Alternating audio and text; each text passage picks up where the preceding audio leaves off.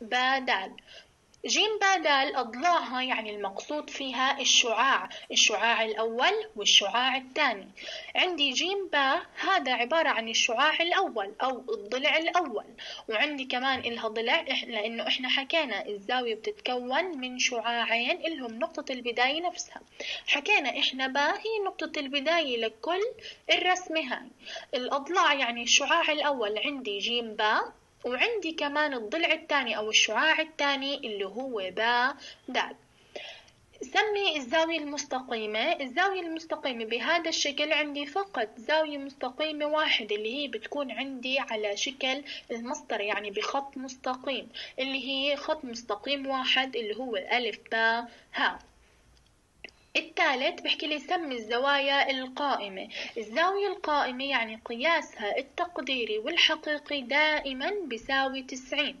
عندي ألف با جيم. هاي عبارة عن زاوية قائمة وكمان حاطط لي مربع صغير يعني بدل إنه هون هي هي زاوية قائمة. وعندي كمان جيم با.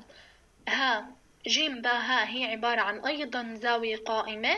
وعندي دال با واو دال با واو. لو حكيت لك الزاوية دال با واو مين الأضلاع اللي إلها؟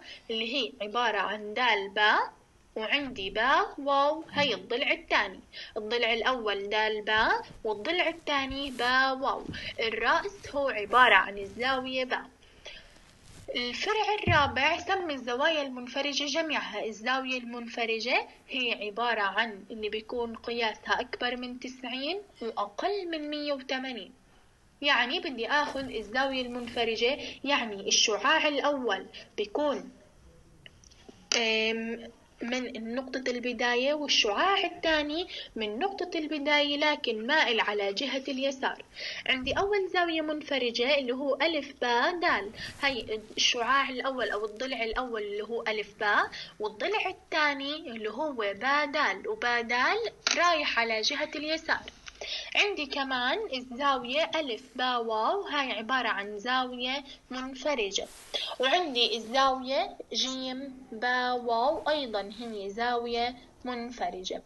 هلا الفرع الأخير معطيني جدول وطالب مني إني أكمل الفراغات. أنا معطي من خلال ما حلينا الأفرع اللي قبل حكيت لك مين الرأس ومين الأضلاع اللي إلها. حكينا الرأس المشترك لإلهم اللي هو آه، الحرف با يعني الزاوية با وعندي كمان الأضلاع سميت لك كل زاوية مع أضلاعها تقدير قياسها هلا عندي الزاوية ها با واو الزاوية ها با واو نوعها حادة تقريبا قياسها عشرين. هون القياس الحقيقي باستخدام المنقلة. بتثبت رأس المنقلة على رأس الزاوية با وبتقيس الشعاع الثاني اللي هو أنت اللي بدك تطلع قياسها من استخدام الحقيقي اللي هو من خلال المنقلة. الزاوية الثانية الزاوية واو بادال هي عبارة عن زاوية قائمة يعني التقديري والحقيقي بيساوي تسعين. آه الزاوية ها بادال هي عبارة عن زاوية حادة قياسها تقريبا خمسة وخمسين ستين. عندي الزاوية جيم بادال تقريبا هي عشرين لأن عشرين خمسة وعشرين اللي هي عبارة عن زاوية حادة الزاوية جيم با واو جيم با واو هي عبارة عن زاوية منفرجة. يعني هون تقريبا قياسها مية مية وخمسة مية وعشرة بهاي الحدود والثلاثة بيكونوا صحيحات. التأكيد للإجابة بيكون من خلال استخدام المنقلة. هي هيك عندي الجدول. اللي هو الفرع الأخير.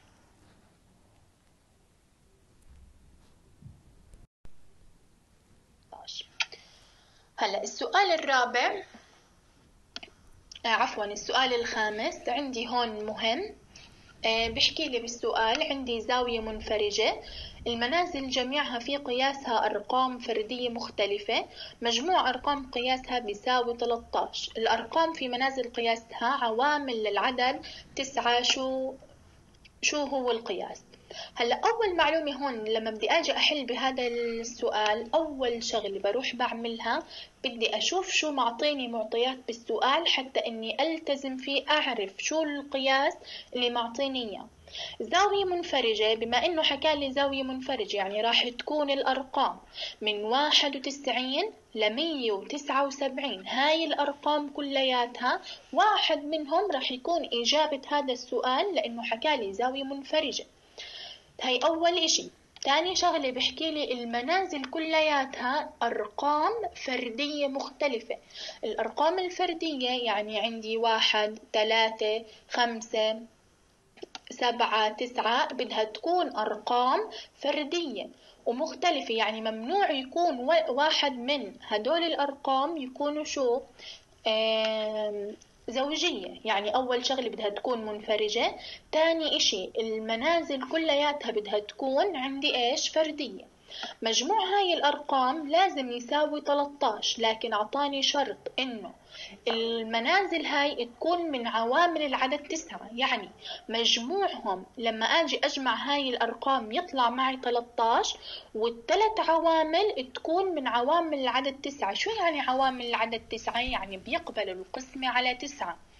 هلأ أول شغلة لحل هيك سؤال بنروح بنحط ثلاث مربعات لأنه حكى لي زاوية منفرجة يعني يا إما بدهم يكونوا مربعين على الأقل أو ثلاثة أكتر إشي. راح أبلش بحط الأرقام بحطهم من اليسار لليمين بحط الأرقام من اليسار لليمين. منبلش بأول رقم فردي عندي واحد الواحد.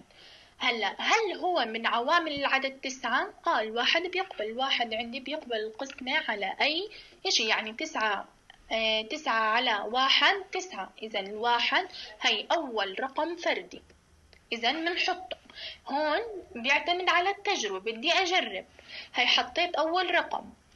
تاني رقم بدي اخد الرقم الفردي التاني التنين مش فردي التنين زوجي اذا باخد الرقم تلات هل التلات هو فردي؟ صحيح التلات فردي وأيضا من عوامل العدد تسعة. يعني بيقبل القسمة على تسعة. التسعة التلات بتقبل القسمة على تسعة اللي هي تسعة تقسيم تلات تلات اذا عندي تاني رقم فردي اللي هو تلات هي صار عندي واحد وتلات هدول أرقام فردية وعندي بتقبل القسمة على تسعة.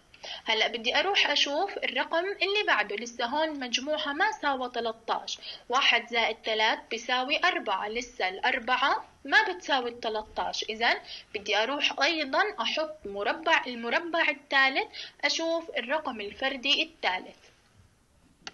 عندي الرقم الفردي عندي أربعة زوجي الخمسة فردي بدي أروح أشوف هل الخمسة من عوامل العدد تسعة؟ الخمسة مش من عوامل العدد تسعة لأنه الخمسة ما بتقبل القسمة على تسعة.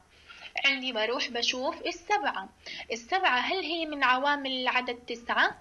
لا السبعة مو من عوامل العدد تسعة يعني السبعة ما بتقبل القسمة على تسعة. عندي الثمانية الثمانية عدد زوجي.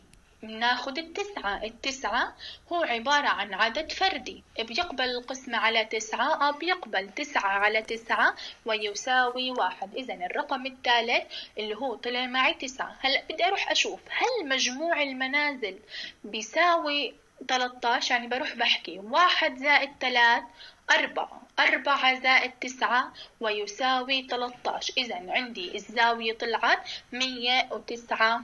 وثلاثين درجة. يعطيكم العافية.